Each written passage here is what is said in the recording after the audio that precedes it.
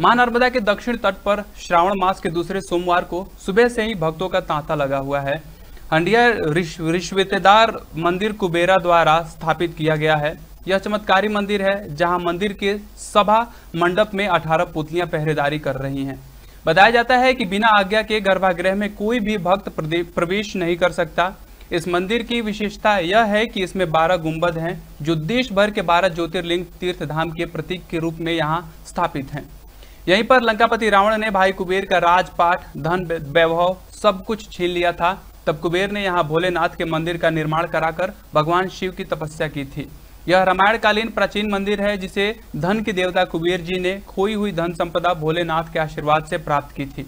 आपको बता दें कि यह मंदिर आयतकार या गोलाद में नहीं है, बल्कि कछुए के आकार में बना हुआ है, इसलिए इस मंदिर को धन संपदा का प्रतीक माना जाता है।